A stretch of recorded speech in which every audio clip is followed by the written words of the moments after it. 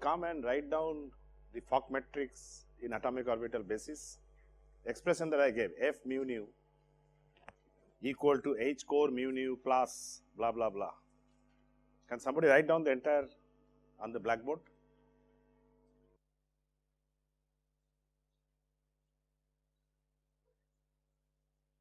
Well, I we wrote nu mu doesn't matter. You have to be consistent. Ah, if you are consistent, it's okay. H core nu mu.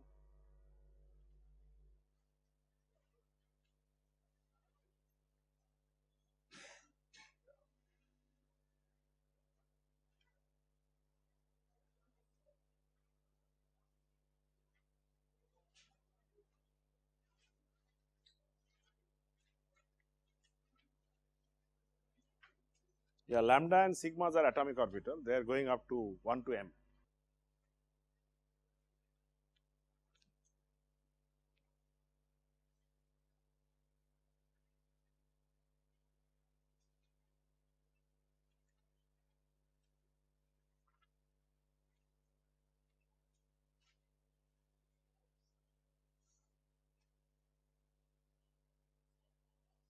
Yes, just write the exchange. Good.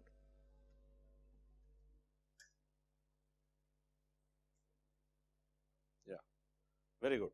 Good, good. Thank you. Let's take your seat.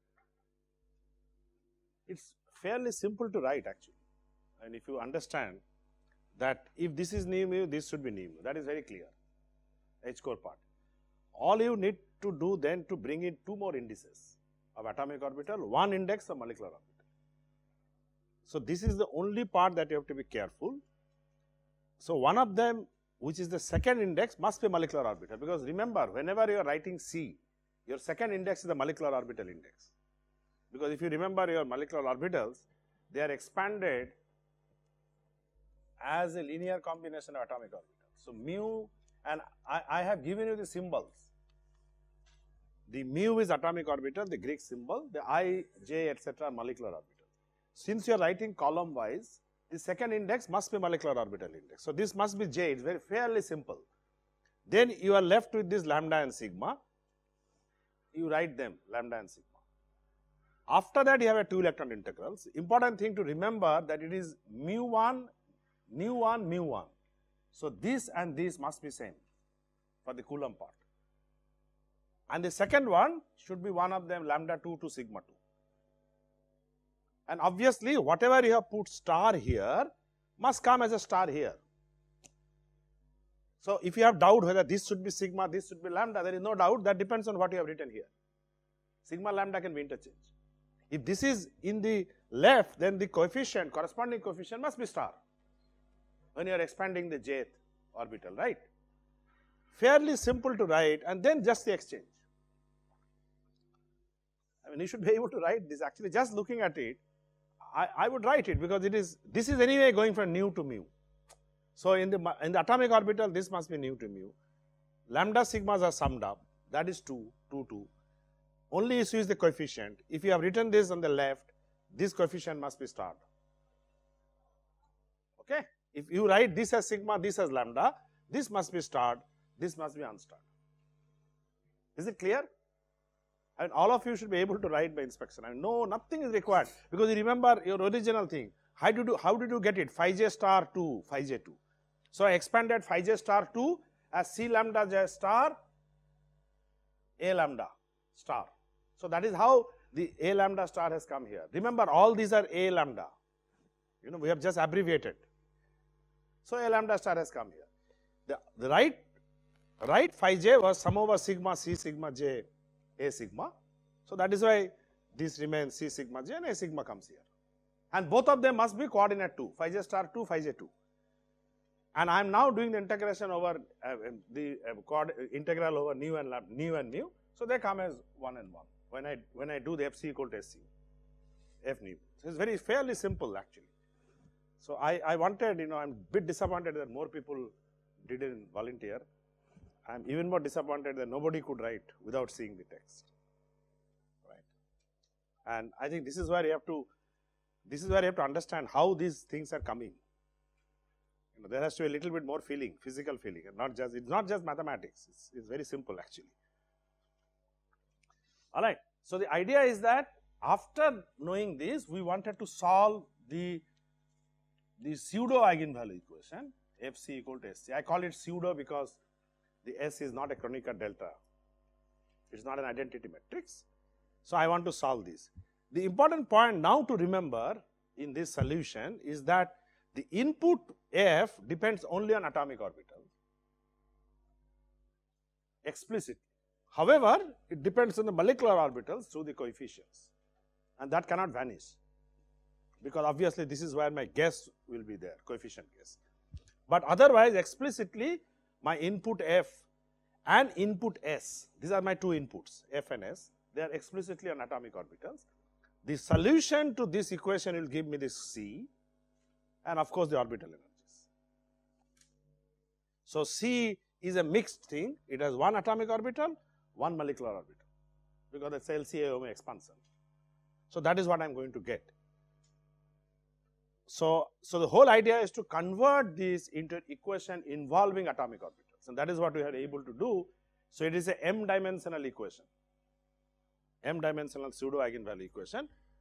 You will get m by m matrix, but of course, this m by m matrix will represent m molecular orbitals in m atomic orbitals, right, because it is m by m matrix. So, each column is a molecular orbital so, I got m molecular orbital and not the n by 2 that I required, I, requ I had more of them.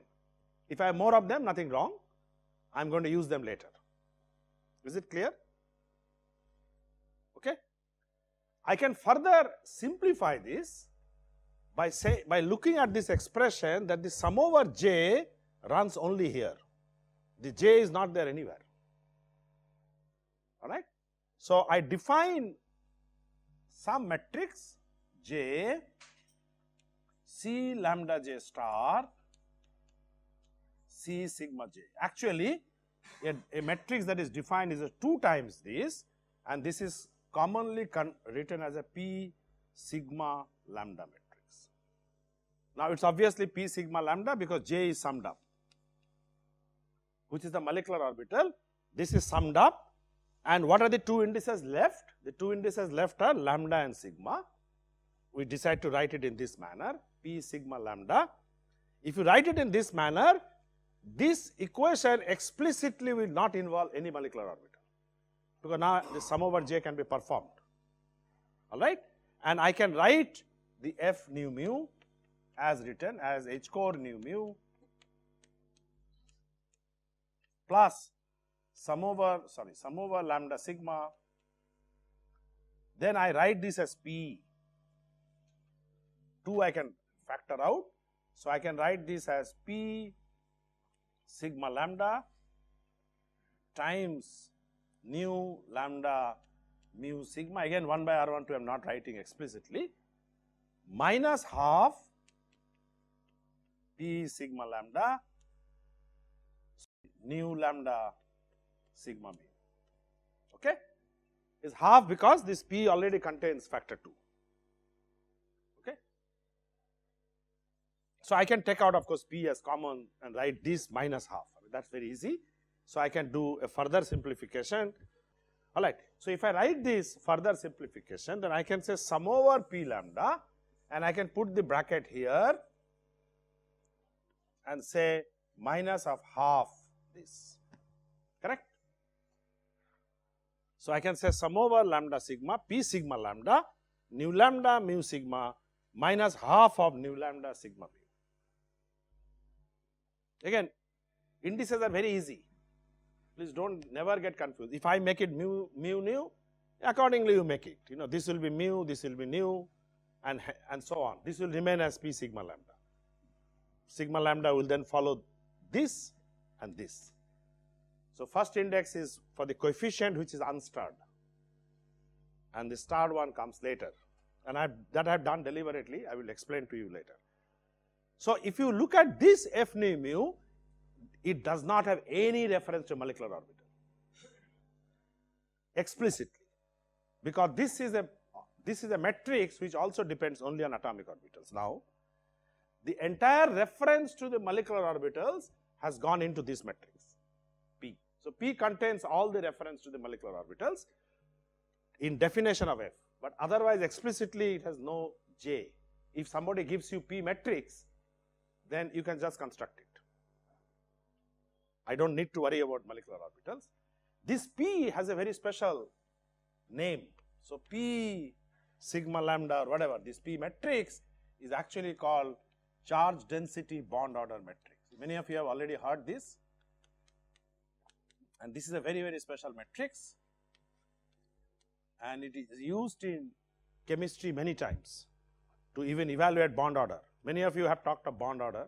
So, in fact, when you come off come come to evaluate bond order, we are going to use this P matrix. That is why I am defining this P matrix. It is it is famously called charge density bond order matrix and the P matrix contains many many things. It will actually be utilized for calculation of population analysis. You know, many of you have done Mulliken population analysis, Löwdin.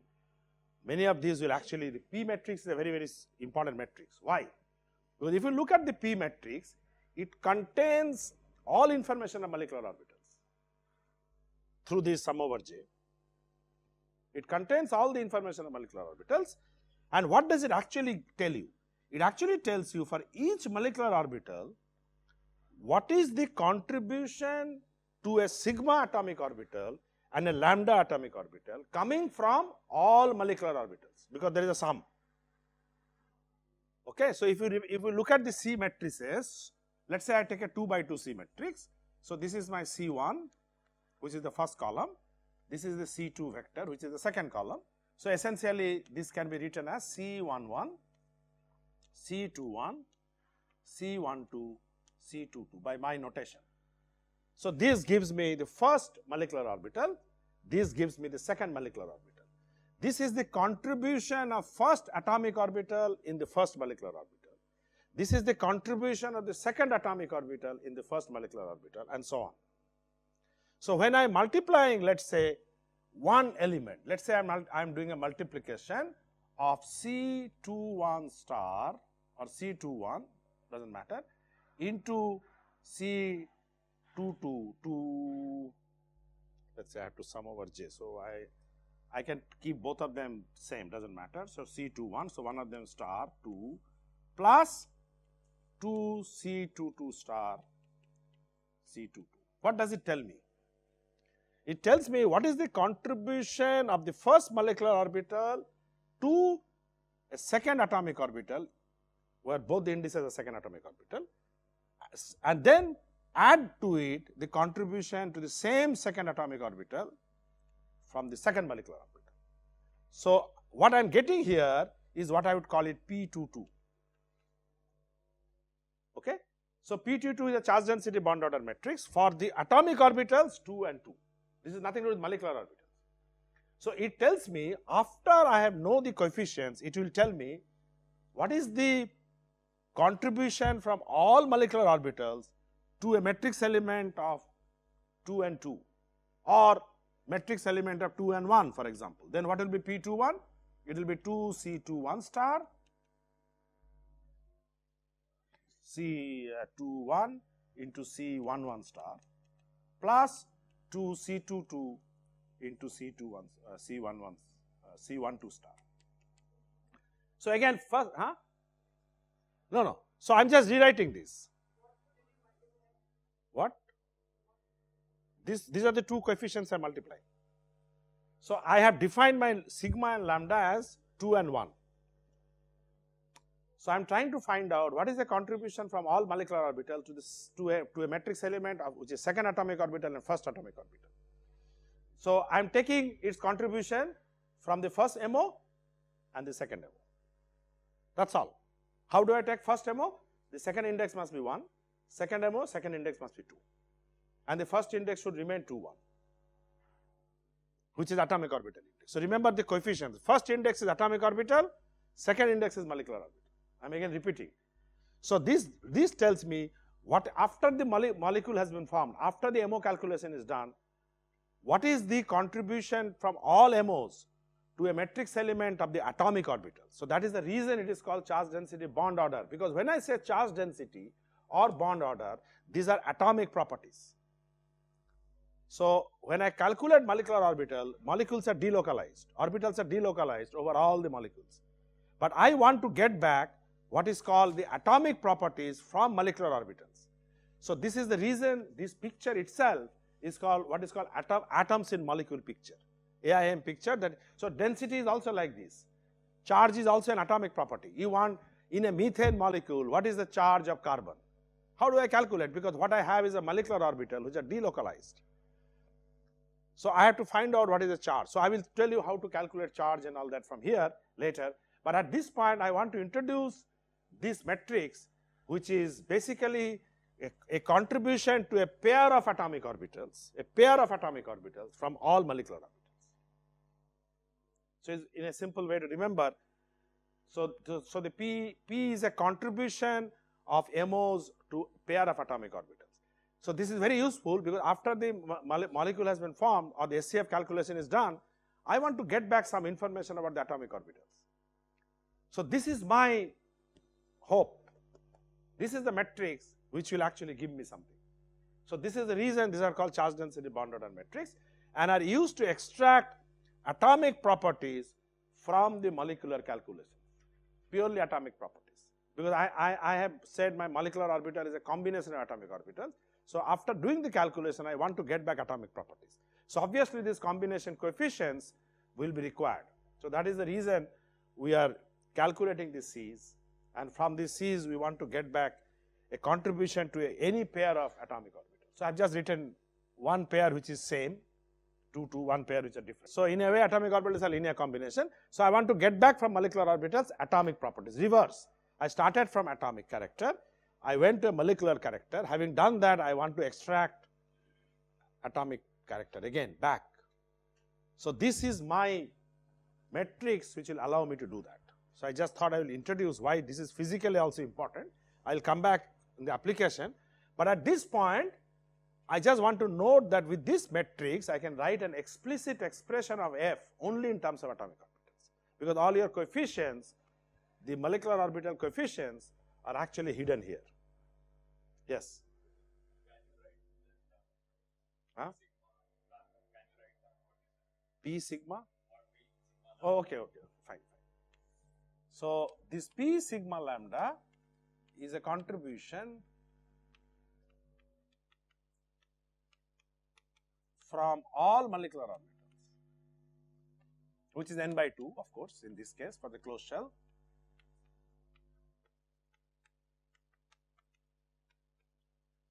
To a pair of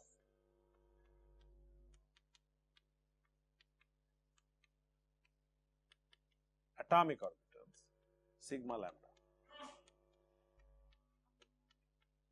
So, that is a pair. So, I am extracting the atomic orbital contribution from the molecule just as you said it is really a inverse reverse way and this this matrix allows me to do that yes you had a question 2 and 2 atomic orbitals 2 and 2 so these are all atomic orbitals now. Okay? So we will see then how to get this for a bond order and all that. That we'll see later.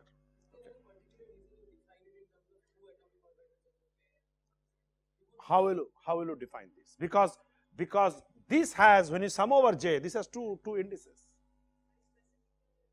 Huh? Because it has two pairs. I multiply the two c's, you look at the expression carefully. It has c lambda j, c sigma j. Yes, because I have to mathematically have to see, because this is a contribution of two coefficients, one of them has can be lambda, one of them can be sigma. They can be identical, they can be different, because I have double summation. The double summation comes purely because in the original expression I have phi j star 2, right? 2 by r 2 2 into 1 by r12 minus p12 whatever. So 2 into 1 by r12 minus uh, r12 into 2 minus p12 okay phi is 2 d tau 2. So remember I have expanded this and this so, in this expression a pair of atomic orbitals will come.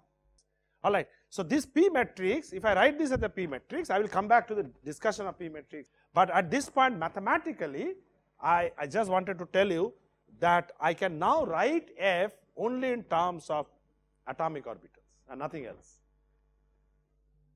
Because F, now J is gone. However, J is not gone because J is there in the P, obviously. J cannot go. All right. So, the problem now is that P is not a defined matrix unless I know J. So, where is my SCF gone? SCF is hidden here. So, instead of guessing C, I am now going to guess P, charge density bond order matrix and then construct the Fock matrix, then solve this equation to get C and once I get C, I can reconstruct P and I go back here. So, I, I, I just have one more step of reconstructing. It is just all mathematically also nice.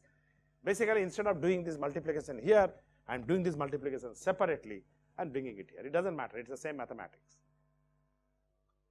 Okay? But it is done because it has it is uh, very useful, this charge density bond order matrix. So, physically it is also very useful. All right?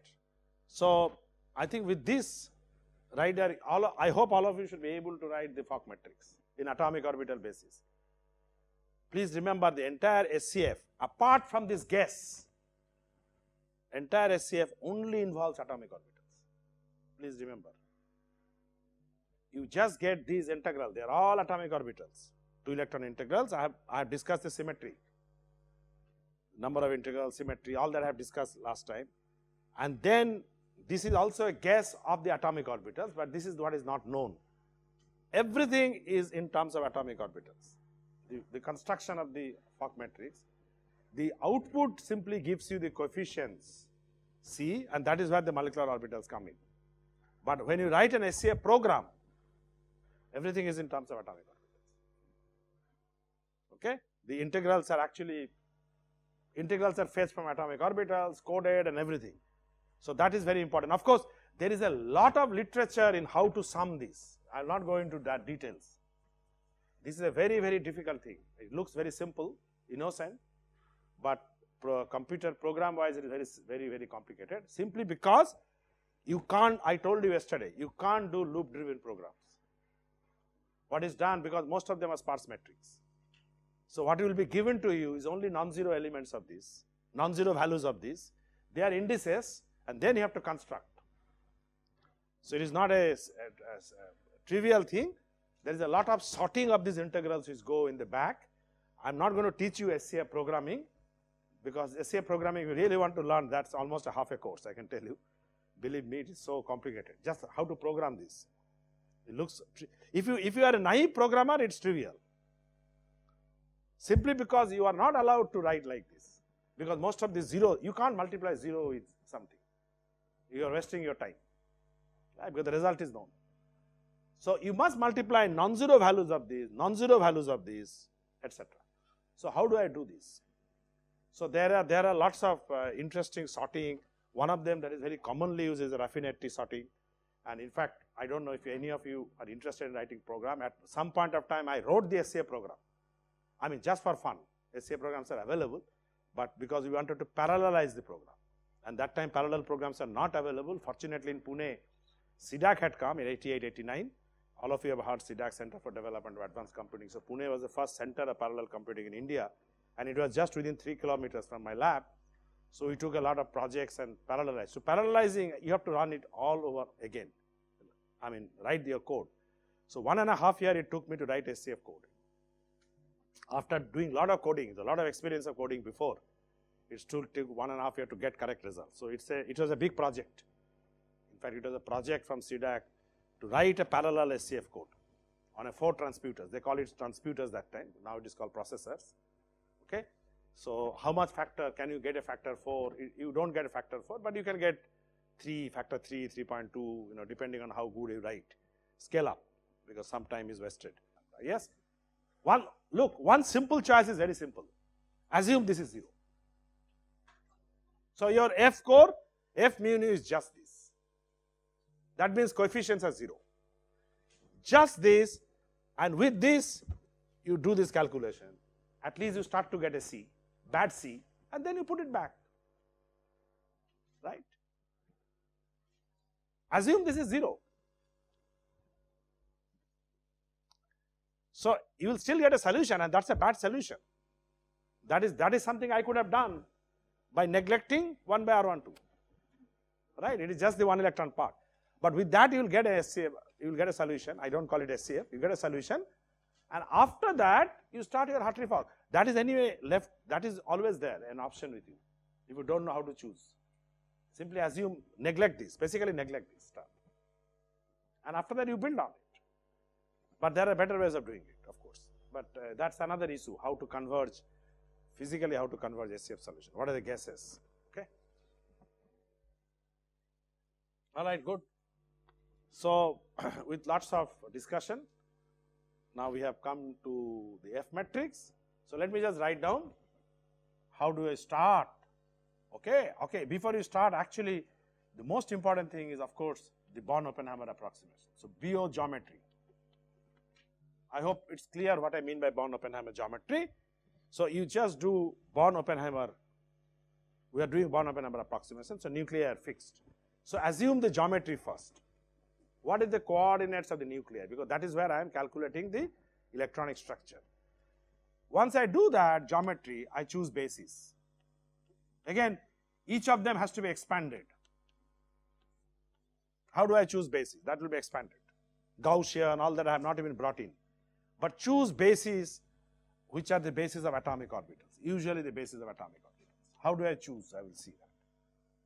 Once I have choose this basis, calculate 1 and 2 electron integrals. So, nu, h, mu and nu, nu, sigma, mu, lambda, etc., etc.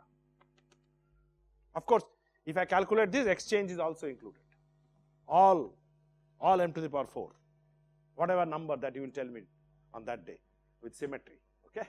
So, some number you will tell me. So, all these you calculate 1 and 2 electron integrals because that is the heart of the thing. Once you do that, then number 4, guess P. Well, at this point I do not know how to do that, does not matter, guess P. Once I guess P, construct F. I have given you the expression, how to construct F, right. Integrals are already available. So, this basis is basically this basis of mu, nu, lambda, sigma, etc., mu, nu, etc. That is my basis, a mu, a nu, whatever I call a mu. Construct f and then solve fc equal to sc. I do not know how to solve it, right. After I do this, number 6 I solve it. We have to expand this 6a, 6b, all that. How do you solve it? That will come to come little later okay and then we come back to construction of P again because now I have a C. So, number 7 reconstruct F, reconstruct P. Once you reconstruct P, number 8 go back, go back to step 5.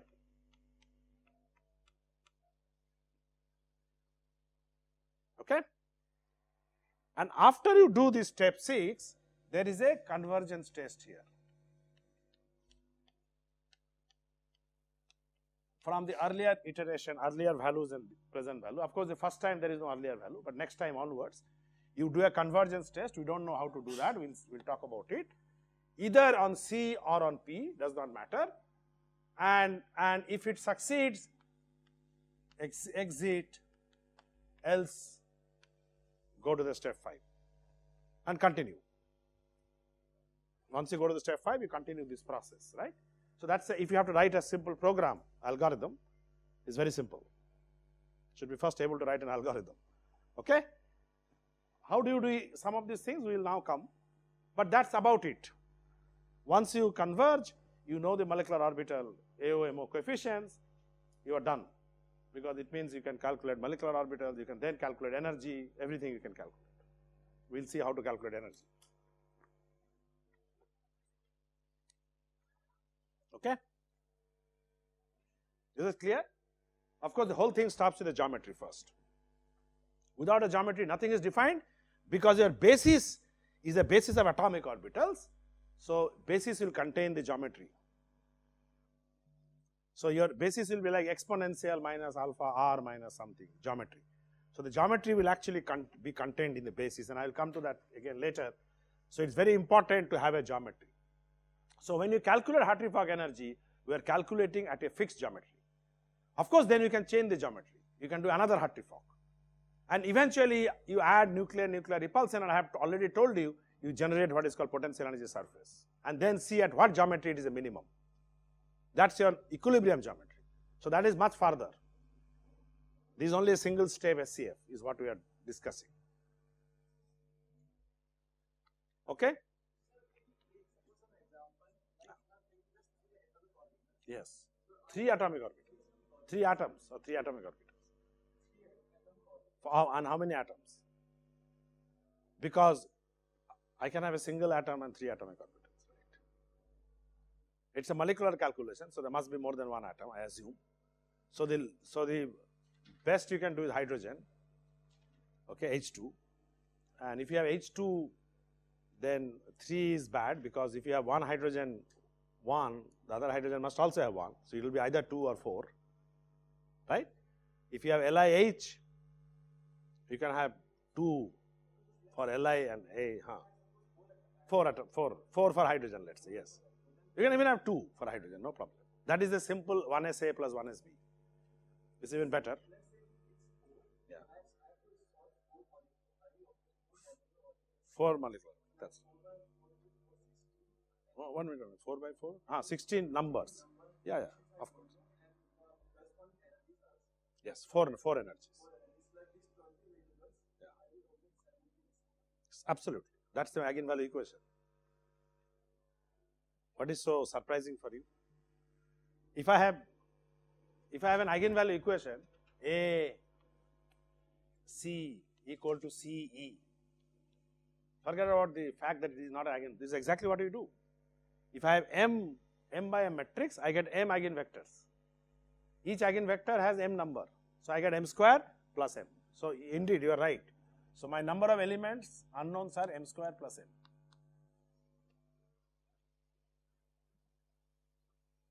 Okay. You may wonder are there m square plus m equation? Are there are.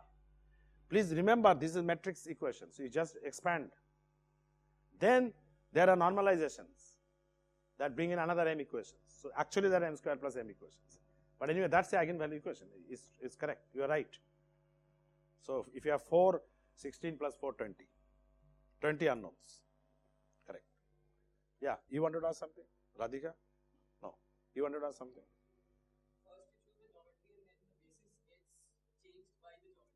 Yes, if geometry changes, basis will also change. Same basis functions, but they will change. Of course. Of course, of course, of course. Everything has to be redo, redone. Everything has to be redone. Because basis will change. I will tell you what is this functions, atomic orbitals. In fact, you know already in hydrogen, for example, you have exponential minus alpha r, but you assume the capital R to be 0. Otherwise, it is actually r, which is the nuclear co electronic coordinate, and this is the nuclear coordinate, r alpha, or r whatever, r a, let's say, for the atom A. This is called the Slater function, typically. Okay. So, this is where the coordinate comes. Now, if you are doing a single hydrogen atom, we never discuss this because the geometry is 0, 0, 0, origin. You just assume it. But when you have molecule, you can't have every all atoms in origin, right? So, they will become a single atom. So, you can choose one of them origin, but with respect to that others have to be defined. So, that is the reason the molecular calculations are complex. And because this is stuck in the definition of A, you have to do all these things again. So every step has to be repeated. And of course, if you change your basis, then anyway you have to repeat. Like instead of 4, if you want to take 8 and different basis functions, then uh, you know, we'll come to that uh, la later when we actually discuss. Yes, any other question at this stage? Oh, because I'm working in the Born-Oppenheimer approximation. So that was my first underlying principle. Because I'm not bringing in nuclear. I've already separated the nuclei. It's only electronic Hamiltonian. So that's the reason. If you want to take, then you have to solve both electrons and the nuclei together. That will be very complicated SCF. The structure of SCF itself will change. Okay? Is it all right? Can I move ahead? I think it's important to discuss this. Because these are Huh? This is just to get one energy. Minimization will happen after you calculate the surface for all different geometry and see where it is minimum. Yeah, but but there are better ways of doing it. They are called what is called analytic evaluation, in which all you will do later is to look at that potential energy and calculate its gradient, because you know where is the minimum, the first derivative must be zero. Yeah, and then, then you have to take the analytic derivative. So that is another step is there for getting the minimum. But I am not going to discuss those things right now. In fact, the derivative calculation of energy derivative calculation by itself is a subject. In fact, I, I myself have done a lot of research on that. So, so that I will not worry right now. Huh? I am only talking of, so this course we are only talking of single point energy calculation. Please do not confuse. This course we are not going to go to how to get the analytic gradient. So, this course what we are discussing is given a Born Oppenheimer geometry, how do you calculate energy? At different level, Hartree-Fock, post-Hartree-Fock, that is it. Okay? But yeah, indeed, your question, since you asked the question, I have to answer. Uh, all right? Now, there are two possibilities. One is that I can finish the Koopmans' discussion before I go to how to solve FC equal to SC or I can start solving FC equal to SC because that, that's the next step. How do I solve FC equal to SC? Guess P I will come later. Guess P is more of an intuition and so on. Assume we can guess P. That's not a big problem. You have constructed F. The real technical point is how do you solve it because it is not an eigenvalue equation. So how do I normalize and so on. But maybe I, I feel that we are going, going too far ahead of the Koopmans what I discussed. So, I should come back to that, finish it today and then, then we will go to that. Okay. So, I think right now, right now just remember these steps and we will have to discuss this step 6 in greater detail. How do I solve it? But if you solve it, everything can be done. Okay. The only other thing I must tell you is that just as I wrote the Hartree-Fock equation, I should be able to write the total energy for closed shell. I hope all of you should be able to write this. First you write in spin orbital, then you do spin integration, right? So what will be the result? Can somebody tell me quickly? I have already done the spin integration. In terms of the molecular orbitals, spatial orbitals. So I equal to, I, can I write it? I equal to 1 to n by 2, 2 times HII. 2 times HII is basically phi i h phi i. Okay, I hope all of you are in sync with the symbol. Then you have a sum over ij n by 2. Well, now I am doing integration. 2 times Jij, right. 2 times Coulomb minus exchange. Right, we have done this. This, this, this step of half, half was there, you are right, in spin orbitals. When I did this space integration, remember Coulomb has 4 terms chi i, chi i, chi j, each of them can be alpha or beta. They survive and the exchange is only parallel or anti-parallel. So twice. So I get, I get uh, this 2 jij minus kij, where you know what is jij, what is kij. Now I will ask you a simple question. Can you write this down in terms of only atomic orbitals? I hope you understand my question. These are all in terms of molecular orbitals. So I have to expand wherever molecular orbitals comes in atomic orbitals. Can you write this down in terms of atomic orbitals and wherever possible use the definition of P and write down in terms of P wherever possible. You understood? So try to avoid coefficients C. So my, my question that I am posing to you is write down the Hartree-Fock energy in terms of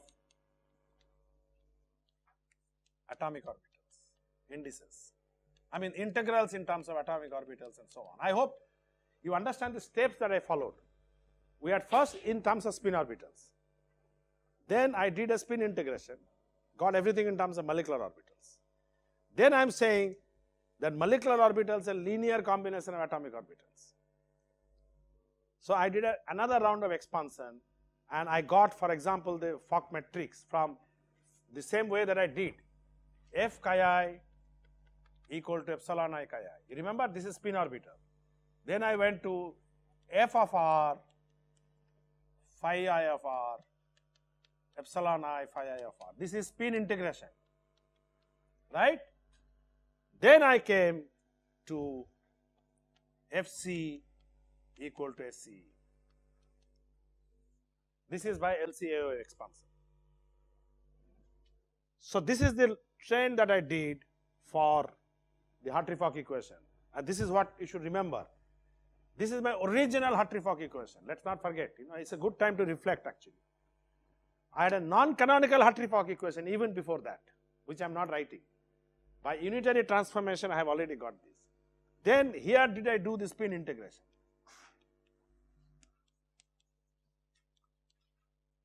Then I did a LCAMO expansion and wrote everything in terms of coefficients, numbers, matrix equation, in which I took a special attention to write f only in terms of atomic orbital by using p, but doesn't matter. That's only a mathematical thing.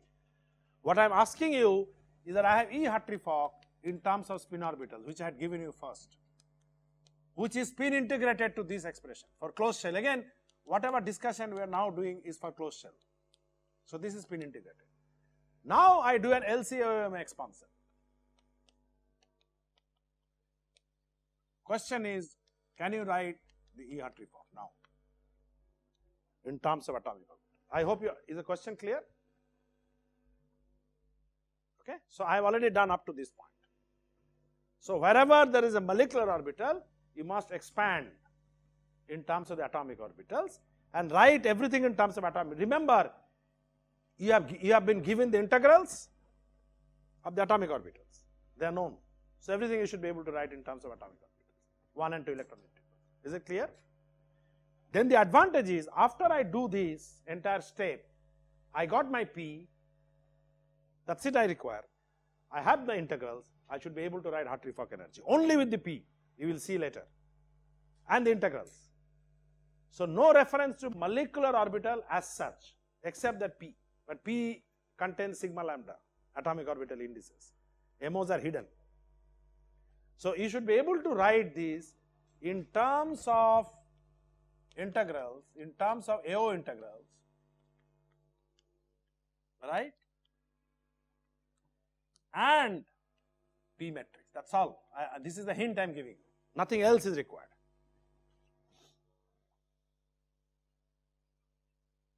When I start expanding this, you have to remember I have to expand from here. You have a phi i, h phi i. One phi i you have to expand, another phi you have to expand. You will get 2c. They have to be combined to a P matrix, even here. Do it, please do it. But it's very simple. It's just practice, okay? Practice, and I'm telling you again how the P's will come.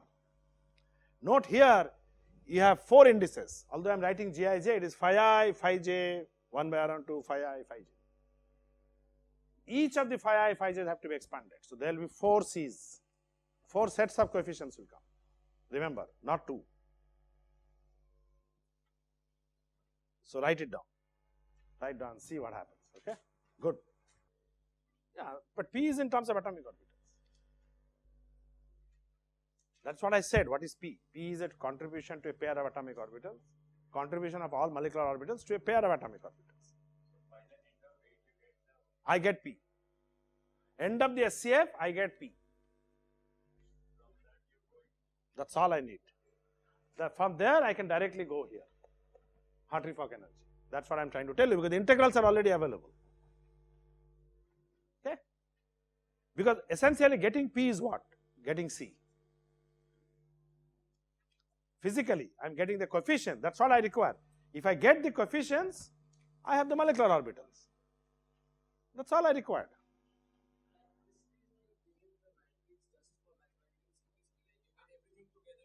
Yes, but this has a this has a important physical interpretation.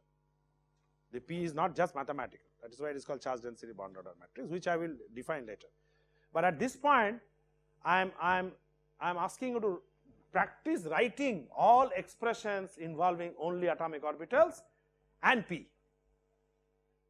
P, P has the hidden molecular orbitals, but explicitly they are atomic orbitals, metrics in atomic orbitals. So, all expressions you should be able to write because this is very important for programming.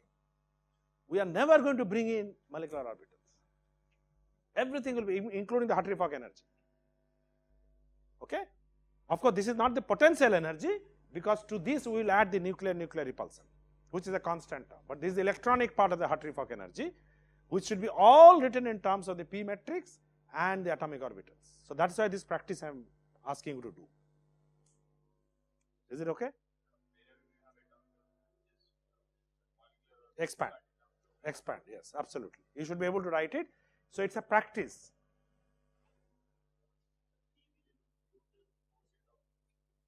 P will in include only two sets.